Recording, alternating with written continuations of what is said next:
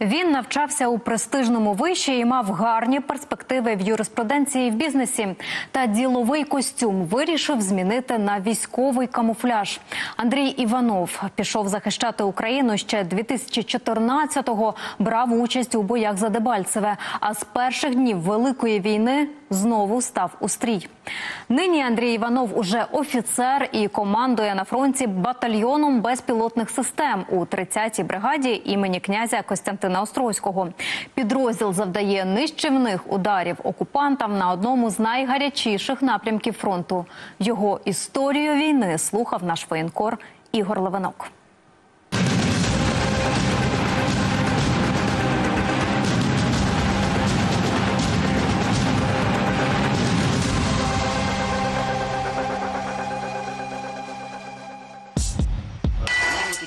Андрій Іванов за позивним прокурор, 39 років, молодший лейтенант, виконувач обов'язків командира батальйону безпілотних систем з ліса Псани 30-ї окремої механізованої бригади імені князя Костянтина Острозького. Мій статус прокурора у вигляді позивного цілком задовільний. Зі студентської лави Андрій добровольцем пішов захищати Україну ще у 2014-му. Служив у піхоті, брав участь у боях за Дебальцеве. Без пяти семь. Все в боевой готовности. На передовой под Дебальцево. Кадет Ялема 450. У цивільному житті Андрій шукав себе в різних сферах від юриспруденції до будівництва, але метою і пристрастю свого буття називає кулінарію. Тока готовилась? Секрет. Секрет, Ну, уже готова. Ну, готово. Це м'ясо мені на яке не схоже, мені дуже важко вам описати. Я вам коли-небудь, дай Бог, приготую. Нині прокурор командує одним із найефективніших підрозділів безпілотних систем на фронті. З ліса Псани нищать живу силу і техніку супротивника, зупиняють ворожі штурми. Як віртуозно знищити окупанта, і хто може потрапити до цього батальйону? У нього пальці, ну мені здається, що вони взагалі заточені, отак, щоб, щоб всі джойстики одно- одночасно взяти в усі пальці. Я не знаю, як так робити. Тобто геймерство теж має свої плюси. Безумовно. Безумовно. Хто полюбляє гратися в комп'ютерні ігри, вам до злих сапсанів. Да, а хто в танчики, то в танковий батальйон. Розкажіть вашу історію, будь ласка, як ви взагалі потрапили до війська, коли? Ну, от про ваш бойовий шлях, власне кажучи.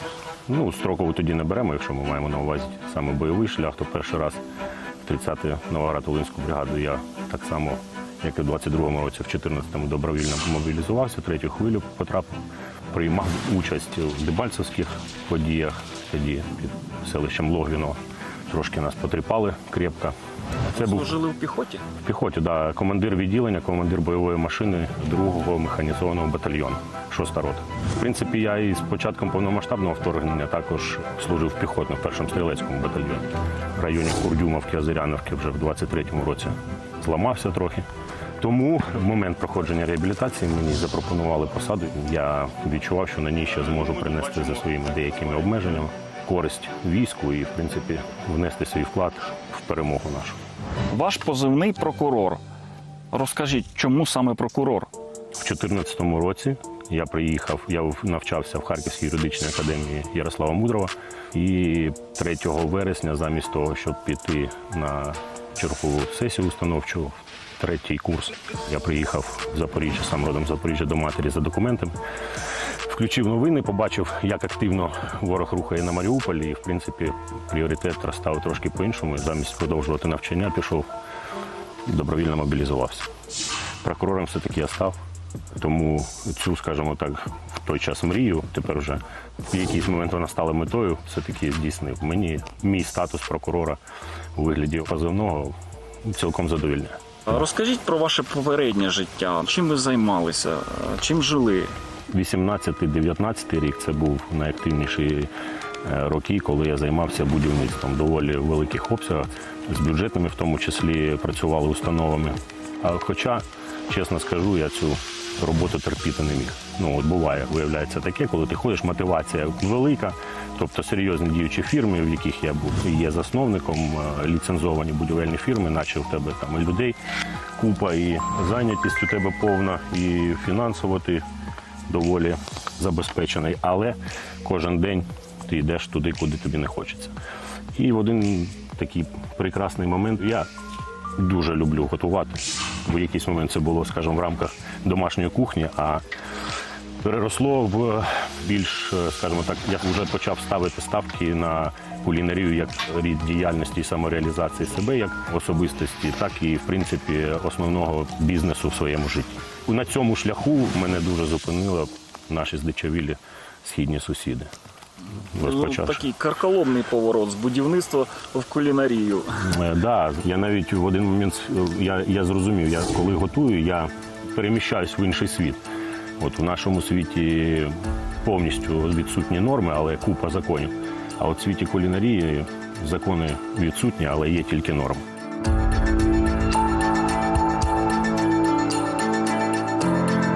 Дуже мені подобається напрямок взагалі стрітфуду. А якщо взяти кулінарний напрямок, е, це смокер, це такі американські спеціальні коптильні, які відповідно там притримуєшся досить серйозних часових термінів і виходить. Ну, це м'ясо ні на яке не схоже, мені дуже важко вам описати. Я вам коли-небудь, дай Бог, приготую. Ми зустрінемось на якомусь фестивалі. Я в такому містечку, як Олевськ Житомирської області, орендував кафе. Воно так без перебільшення з відходом на ресторан. Вот он. И вот. Запорізька Січ. А кафе у нас називається Гетьман. І от я уходжу в той світ, і з нього виходжу в якийсь перезавантаження. Коли, звичайно, був час, я і зараз іноді буває, дотягуюсь до якогось казанка і все-таки нагадую сам собі, що ще щось вмію і ті норми зберігаю. Де ви були, коли розпочалася широкомасштабна війна? І Як За- ви сприйняли цю звістку? в Запоріжжі. Я зрозумів, що цей негідник розпочне, коли побачив е, його звернення 23 3 правильно лютого ввечері. Я посадив маму на заднє сидіння, обклав сумками. Я не знаю, як ми проскочили Гостомель, тому що ми якраз його проскакували якоюсь дорогою, яку я не знав, чисто по навігатору, і бачили якраз десант, і якраз ці активні дії. Мені дуже було, чесно кажучи, страшно за матір, тому що ну, і вибухи, і весь для неї це був шоковий стан. Ну а для мене, як для сина, також. Ну, проскочили, я не знаю. Хтось зверху допоміг. Ми проскочили без всяких затримок, і вже в цей же день ввечері я прийшов в військкомат і попросив, щоб мене записали у військо.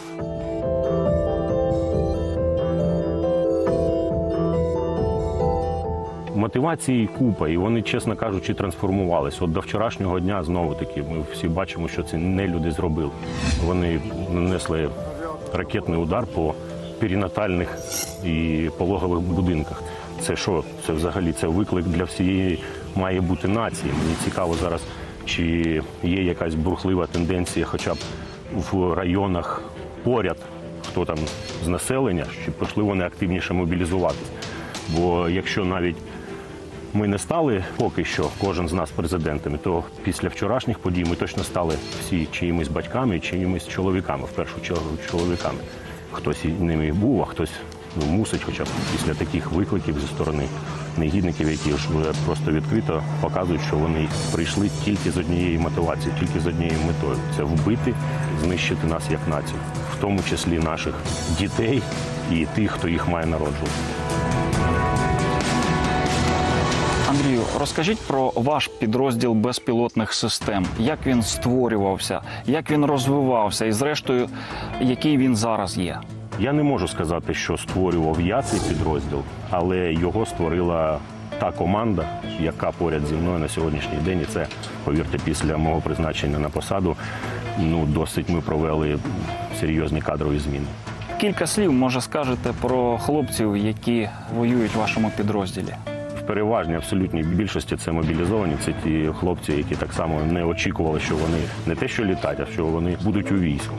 Багато на сьогоднішній день вже хлопців є, які так само, як і я, мають обмеження, але в силу свого настрою і патріотизму знайшли в нашому підрозділі те місце, в якому вони можуть реалізувати себе за рахунок допомоги, знань, вмінь і просто іноді творять чудеса, хлопці. Ваш батальйон відкритий для новачків? На сьогодні достатньо прийти в будь-який рекрутинговий центр, сказати, я хочу в батальйон з лісапсани 30-ї Новоград Волинської бригади, дадуть контакти і працюєш, що даєш відношення, і він вже броньована людина і потрапляє до нас після базової загальної військової підготовки.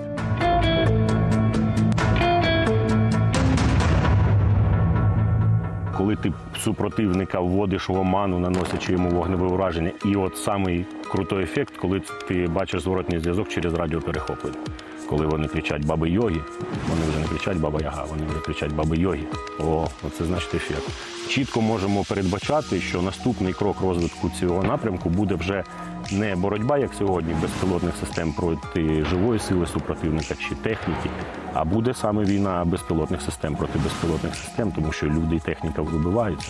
Я думаю, що все призупиниться якимось дуже великим сіряком, через який просто не підпустять безпілотні системи нікого, ні на транспортних повторюю засобах, ні особовий склад пішки або якось, щоб вони не видумали. Я знаю, що ну будемо казати, не так давно ваші хлопці спіймали навіть якогось командира і відправили його на концерт Кобзона. Е, Командира роти. Так. Да, було таке. Причому так якась така є цікавинка, тому що він розуміючи, ну в принципі, будь-який військовослужбовець розуміючи, що така кровотеча з ноги в області паха це перебита пахова артерія. Навіть він не намагався накласти собі жоден турнікет. Щось там бильмачав в рацію. Ну, мабуть, він просто звик, що його там на носілках носять. Але ніхто до нього не підійшов. Ну, цікаво він себе поводив, я ж кажу, або по своїй недосвідченості, або по халатності, або все-таки думав, що він безсмертний, що також ми помічаємо в їх поведінці іноді. Але ми йому доказали зворотні. З огляду на те, які жахливі моторошні злочини вчиняють окупанти на нашій землі. Скажіть, будь ласка, чи буде з вашого боку помста? З нашого вже почалась. Вона не зупинялась. І, в принципі, в ту вже переповнену чашу, чашу терпіння, яка вже переповнена на моменті бучі була. Знову вони туди льють, воно витікає, вже його просто випліснути ну, в більших масштабах немає. Від свого підрозділу. Я гарантую, що буде. Я впевнений, що всі свідомі люди, які е, є тут безпосередньо в секторі, в окопах, хтось там, хто зараз стоїть в військкоматі, я- впевнений, що ну, хоч до когось дійшло, що йде війна на знищення нашої нації. Я впевнений, що помста буде дуже витончена і дуже болюча. Так не можна. Я є. Є мої побратими, є ті, хто не боїться і стоїть кожен день очі в очі. Воюй проти мене, що ти робиш. Я не можу зрозуміти. Паритету, мабуть, у нас немає з ними ні в чому. Їх е, перевага в тому, що в них, я думаю, що вся економіка стала на військові рейки. У нас, знаєте, яке роздратування е, викликає, коли ти в інтернет-магазині замовляєш щось ну, для обладнання. Телефонуєш в суботу, вишліть сьогодні. Ні, ні, понеділок, завтра вихідний, неділя. Сьогодні ми до обіда. Люди добрі, ви що, який, який вихідний, яка неділя? Мені здається, що там трошки по-іншому. Мені здається, я це може бути хибне уявлення, але нам давно вже час мобілізувати всі шари населення, всю економіку перепрофілювати на військові рейки, в тому числі мобілізація. Насправді сьогодні окремо можна сказати, що першочергове, що не вистачає особового складу. Я не хочу сказати, що ми там все ай-яй-яй. Ні, воювали таким складом, ще і воюємо, і будемо воювати. Але дайте мені те, що в мене має бути. І наберіть його за рахунок того моб-ресурсу, який я приїжджаю, виїжджаю, дивлюся, як вони ходять. Я ось вискакував на Київ. З чотирьох людей знайомих, троє чоловіків, після першої фрази ну, до мене, як справи, я кажу, та все нормально воюємо, почали розказувати про свої проблеми зі здоров'ям. Тобто, ну так нам буде складно. Я не хочу казати, що ми програємо, але так нам буде складно. Зрозуміло, звісно. Давайте поговоримо ще про цікаві цілі. Із тих відео, які я бачив, я знаю, що ваші хлопці вражали і склади з боєприпасами, і, до речі, своїх, е, будемо так казати, візаві, тобто теж е, операторів дронів. А це не так е, просто, я знаю, спіймати оператора дрона, і техніку, і навіть зупиняли ворожі штурми. Мені це так згадується те відео, де посеред поля їде БТР чи мотолига і там на ній купа ж особового складу окупантів. Да, І тут налітають наші дрони і да, зупинили там е, не дроном, зупинили протитанковим гранатометом, але те, що посипалось е, з нього, якраз аеробомбер, теж вам відомий член нашої команди, дуже потужний. Він якраз був на зміні і майже дві доби вилавлювали вони за своїм розрахунком по полях. Другу групу дістали, все одно ніхто не потрапив назад. потрапляло до вас на очі, як ми ганялися за лазиком, я якраз коригував тоді дії. А через два тижні по москальських новинах навіть вони оцінили роботу, тому що це якраз знімальна група з кореспондентами на цьому лазіку приїжджала знімати репортаж. Целая ж была, когда успел? Целый вас высадил, поехал обратно. Догнала меня птичка в поле. А як вдається вражати ворожий реб? Ну це ж реб. Він має протидіяти дронам. Щодо засобів РЕП, по-перше, іноді вони направленої дії, вони не глушать автоматично. Якщо заходити ззаду, то можна потрапити в вікно. Друге питання все одно прораховуємо маршрути, і ми бачимо вже сектора, де коли включаються. Ну, ми аналітику ведемо на рівні е, батальйону. І РЕП також має специфіку. Він гріється, він має виключатися і бути неактивним деякий час. От тоді ми їх. У нас є, да, у нас ми сілок знищували. Теж такий міфічно безсмертний засіб. Ну, Доказали протилежне. Андрію, у суспільстві, мабуть, склалося хибне уявлення про пілотів дронів. Багато хто думає, що це людина, яка сидить десь у тилу і керує собі у безпечному місці дроном. Але це не так. Ми з вами це знаємо. Да.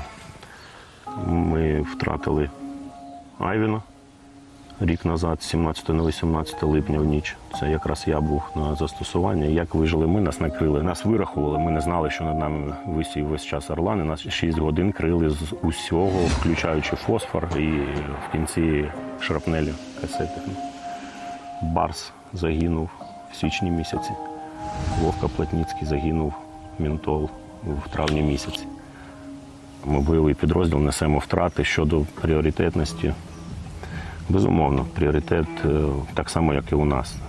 Якщо танки і місце дислокації особового складу пілотів, то обирається другий на сьогоднішній день. Ну, все ситуативно, це я так моделюю. А якщо взяти хибну думку, у людей взагалі дуже багато на сьогоднішній день у цивільного населення хибних думок і ілюзій. І взагалі для них е, війна дуже ілюзорна. І те, що відбувається, ілюзорно, мені здається. Про операторів дронів я взагалі я вам хочу сказати, що найкращі оператори БПЛА це екс-піхотінці. Для нього півтора, два, три кілометра від лінії бойового зіткнення це вже не третя лінія оборони, це глибокі тили. Коли почались, скажімо, кадрові зміни, коли я прийшов на посаду, дуже багато було артилерістів. І от що говорити про цивільне населення, якщо навіть серед тих хлопців, які були, була хибна думка, що ми маємо десь за 20 кілометрів від ЛБЗ запускати і вести оборонні чи штурмові, чи превентивні якісь дії. Був такий досвід у мене. Я спілкувався з хлопчиною, який також оператор дрона, але в минулому житті він був геймером. Скажіть, будь ласка, як це впливає на роботу? У мене є Каспер 22 або 23 рочки хлопцю. Отаке. У нього пальці, ну мені здається, що вони взагалі заточені, отак, щоб всі джойстики одночасно взяти в усі пальці. Я не знаю, як так робить. Як він водить його, це молодість, це саме комп'ютерні ігри. Якщо взяти оператора FPV, це також вже своїм досвідом пропрацьовано, скажімо так. Більше чотирьох днів, якщо він не управляє, все в нього втрачається моторика. Тому ми розробили, от зараз якраз проходять змагання серед розрахунків. Ну були FPV, зараз бомберів. Ми постійно підтримуємо навички пілотів. Плюс ми намагаємось проведенням. От взагалі ми взяли за такий формат саме змагання проведення, не тренування загальновійськові, коли приїжджають хлопці, аби просто відбути. А ми перевели в розряд змагань, де є призові місця, де є мотивація, і хлопці зовсім з іншим КПД в рази виросло. Тобто геймерство теж має свої плюси. Безумовно. Безумовно. Хто полюбляє гратися в комп'ютерні ігри, вам до злих сапсанів. Да, хто в танчики, то в танковий батальйон. А як же вас змінила ця війна? Я живу так, щоб максимально приносити ефективність в той час і в тому місці, де я знаходжусь. От зараз я в військовій формі на службі. Завтра я, можливо, буду десь у відпустці. І я буду в своїй сім'ї, буду намагатися там бути максимально ефективним кожен день. Це не означає, я кажу, там проживи день для інших або там якось гарно. Ну що значить гарно? В кожного різні поняття гарно прожити день. Проживи його ефективно. От якщо б людина кожен день думала, що це може бути останній день, неважливо, приїхав ти на війну чи ні, то я думаю, що до вечора вона б ну, ефективніше на 100% проводила свій час на протязі дня. А там, глядиш, і ця ефективність, можливо, на когось ще розподілилась. Ким ви себе бачите після війни? Прокурором, будівельником, кухарем? Чи можливо залишитися в армії? Дуже хочу кулінарити. Из чего бы вы подумали этот прекрасный будущий шашлык? Конечно же, из индюшатины. Якщо буде спокійно, я зможу собі моделювати майбутнє там свою діяльність, то вона буде виключно з цим пов'язана. Поки що буду, буду, буду максимально намагатися бути ефективним в тому місці і в той час, де я зараз знаходжусь. Так що тут. А я хочу завітати до вашого ресторану. Mm. А, і можливо там ми знімемо якесь кулінарне шоу. Поки що це також мрія. Я скажімо так, закінчення війни зможе дати мені шанс трансформувати цю мрію в мету.